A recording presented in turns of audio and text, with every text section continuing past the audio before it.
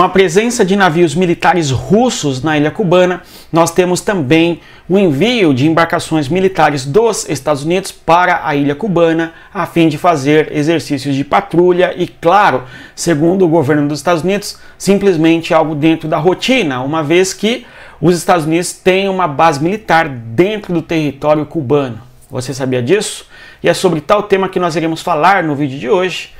Antes de tudo, eu gostaria de pedir a você que deixasse o like e se inscrevesse no canal, claro, como sempre fazemos. Olá pessoal, tudo bem? Então nós temos Cuba, o assunto do momento, uma vez que a ilha é estratégica e importante para as relações dos Estados Unidos no Caribe, na América Latina como um todo, porque é uma posição importante de projeção de poder para os Estados Unidos, o território cubano, inclusive, mesmo porque existe a base militar norte-americana instalada no território de Cuba desde o começo do século XX, em especial desde 1903. Nós temos aí a imagem, vocês podem visualizar, que é a entrada da base naval, ok? Bem-vindo à base naval Guantánamo na Baía de Cuba, fica na região do extremo sul do território cubano, na porção sudeste, mais precisamente. Tudo bom? Então, observando aí o submarino Helena, de modo que agora nós temos dois submarinos nucleares aportados no território cubano. Um deles é dos Estados Unidos e o outro é de Cuba, né? no caso da Rússia, melhor dizendo. É claro que não temos um cenário igual o, da Guerra Fria, é, dos mísseis nucleares instalados em Cuba por parte da União Soviética, mas nós temos uma disputa, uma tensão, uma tentativa de influência, sem dúvida, um, um movimento com o objetivo de evidenciar prestígio junto a Cuba, seja o prestígio político por parte de, da Rússia, ou seja o prestígio militar, ok? Da força por parte dos Estados Unidos e a sua presença nesta região importante para os Estados Unidos e tal. Conforme menciono, reitero, reitero, Cuba é importante posição geográfica para a projeção geopolítica dos Estados Unidos na região do Caribe, na América Latina como um todo. Observando aí então os Estados Unidos têm uma base militar na região, chamam esta localidade de Comando Militar do Sul. O navio nuclear, no caso submarino nuclear aportado ali é USS Helena, tudo bom? Que está patrulhando esta região aí desde 1903, ok? Então a presença militar norte-americana em Guantánamo se dá desde 1903 como parte de território administrado pelos Estados Unidos. Então, seria o objetivo americano a dissuasão da Rússia, uma vez que a Rússia está fazendo exercícios no, militares no território cubano, junto com Cuba. Segundo a Rússia, não precisa se preocupar, não é? Mas, gato escaldado, não é? Toda aquela conversa, os Estados Unidos vão fazer exercício de patrulha em Cuba, ok? Mas, claro, também o objetivo de mostrar, não é? Em termos é, é, militares, que também estão presentes na região e não toleram, não é? A presença russa sozinha no território cubano. Seria isso, né? Ou não? Temos aí um objetivo de dissuasão, na minha interpretação, sim. Um objetivo de mostrar controle certo? E aí, conforme nós já dissemos, os Estados Unidos atuam na região desde 1903. Nós temos aqui a foto do Conselheiro de Segurança Nacional dos Estados Unidos, Jake Sullivan, dizendo justamente que não. Os Estados Unidos têm é, a presença militar nesta região desde o início do século XX, relações com Cuba muito próximas naquele contexto, e o objetivo dessa embarcação em Cuba, do submarino nuclear, é apenas rotina. Tudo bem? Você acredita? Não é? Você confia no que o Jack Sullivan está dizendo ou os Estados Unidos estão com medo da presença militar russa em Cuba? Avançando aqui, as embarcações, não é? São quatro é, embarcações, destroyers, destroyers, tudo bom? Lançadores de mísseis, não é? E navios de guarda costeira presentes em Cuba, além de um avião de patrulha. Então, uma movimentação militar, uma operação importante por parte dos Estados Unidos na ilha é. E aqui uma foto que nos remete à história, não é? Em especial ao corolário Roosevelt, onde nós temos a chamada política do grande porrete para a região do Mar do Caribe. Ou seja, no começo, no século XIX, existe a relação dos Estados Unidos com a região do Caribe uma doutrina chamada doutrina é, Monroe.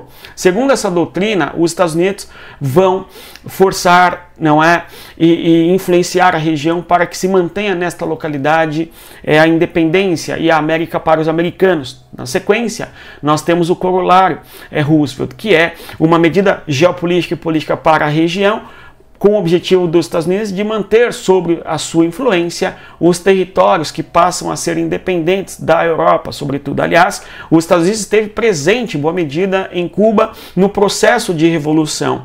Não por acaso nós temos a emenda Platt, não é? O contexto é, em 1898, os Estados Unidos travam uma guerra contra a Espanha, a chamada Guerra é, Hispano-Americana. Os Estados Unidos acabam saindo vitoriosos e é um contexto muito é, é, importante aquele porque nós temos uma ex-colônia na América vencendo uma guerra contra uma potência europeia. Tudo bom? Muitos vão dizer, não, mas naquele contexto a Espanha já não era uma grande potência. Enfim, o fato é, a Espanha era um império imenso desde o século XVI. Tudo bom? E os Estados Unidos acabam sendo vitoriosos na região do Atlântico e também no Pacífico. Tanto é que as relações entre Estados Unidos e Cuba, Estados Unidos e Filipinas vão se dar como territórios importantes para a geopolítica americana a partir da vitória que tiveram na Guerra Hispano-Americana. As Filipinas, ex-colônia, ok? Ex-colônia é, espanhola, sob influência americana. Cuba, ex-colônia espanhola, sob influência americana. Aqui, em 1902, uma ocupação dos Estados Unidos militar sobre a ilha cubana, ok? E fazem ali a transição para um governo local. Então, os governos que precedem a Revolução Cubana são governos que têm uma relação muito próxima com os Estados Unidos, e muito se discute que ah, Cuba era um quintal dos Estados Unidos antes da chegada do Fidel Castro ao poder. É verdade, mas isso tem um histórico, porque os Estados Unidos, de certa maneira, participam do processo de independência cubana em relação à Espanha e, evidentemente, impõe a sua vontade dentro de dois contextos, não é, geopolíticos. Um deles a doutrina é, que vai assegurar que a América deve ser para os americanos, ou seja, incentivando o processo de independência na América Latina, na América do Sul como um todo, que é a chamada doutrina Monroe, e claro, o corolário Roosevelt, que vai assegurar através da força e também da diplomacia a presença americana na região do Caribe, conforme nós já mencionamos inclusive. Em 1903 nós temos aí a emenda Platt, não é? Tal emenda vai, é um acordo feito entre Estados Unidos e Cuba, a fim de que os Estados Unidos assegurem seus interesses na ilha cubana. Tudo bom? Nós temos aqui uma emenda que vai é, assegurar o interesse dos Estados Unidos junto ao território de Cuba e claro, a partir daqui, repito, não é, a presença e o acordo para a base militar dos Estados Unidos ser instalada no território de Cuba, no caso ali a base de Guantánamo. Nós temos ali um tratado de relações em 1934 que dá fim à emenda Platt, mas reitera os acordos e interesses americanos sobre o território da ilha de Cuba o governo de Fulgêncio Batista e, claro, a Revolução em 59 e o fim das relações amistosas entre os Estados Unidos e Cuba, conforme nós sabemos.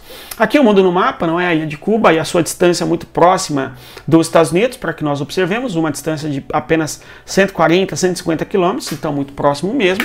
A presença de mísseis é, é, soviéticos na ilha cubana em 1962 tinham condições de acertar todo o território dos Estados Unidos, nós já falamos disso aqui. E claro, a presença da base militar de Guantánamo. Nós temos aí a base militar de Guantánamo que está no extremo região sul deste de Cuba, tudo bom? Então, numa posição muito bem localizada, muito bem estratégica, voltada inclusive para o Atlântico, ok?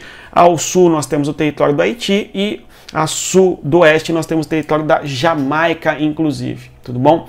E a presença militar norte-americana nesta região, é aí que temos a base militar e conforme disse, temos também é, a prisão de Guantánamo.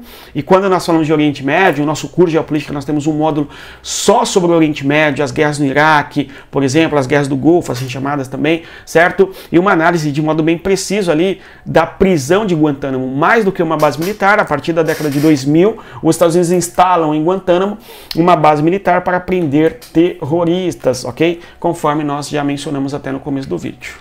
Vem estudar com a gente, inclusive. Conheça o nosso curso. Aliás, se você chegou até aqui, eu agradeço a presença, reitero, conforme sempre dizemos, respeita a geografia, bons estudos e até mais. Tchau, pessoal.